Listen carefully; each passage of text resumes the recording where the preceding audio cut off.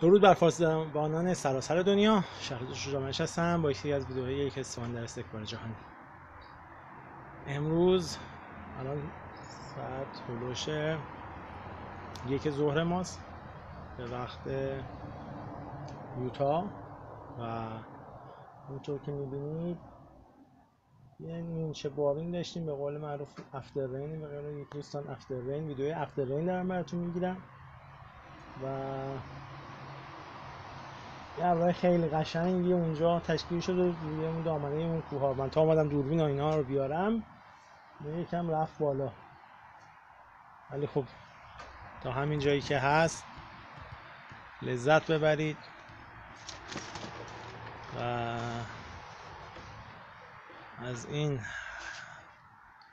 کیفیت هوا از این بارون و تراوت دوست دارم که شما نهایت لذت رو ببرید.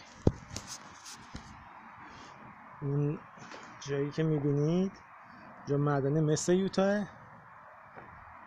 و بنابود این معدن تعطیل بشه ولی دوباره رگه های مس پیدا کردن و دوباره شروع کرده به کار.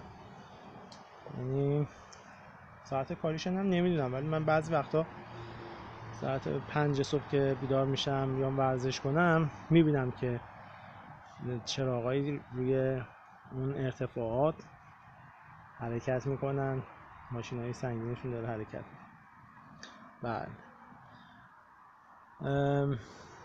این درختان رو باید همسایمون بگم کوتاه کنه که اینجا یه ویوی خوبی داشته باشین.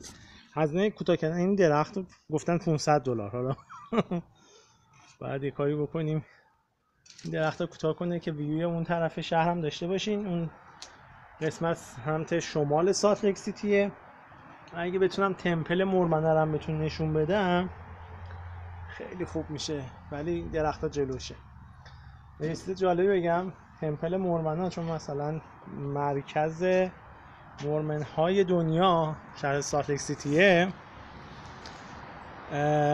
اجازه ساخت و بلند مرتبه سازی بیشتر از ارتفاع اون نوک اومدن بالای گنبد یه مجسمه گذاشتن. نباید بیشتر از اون باشه. نمی‌دونم حالا چهار متر دقیقا حالا اونم سرچ می‌کنم. باید نهایت ارتفاع زیر اون باشه. و اینم جالبه جزو قوانین یوتاه. خب شاد بشین دوستان تا یه ویدیو دیگه. در پناه حق و پیروزی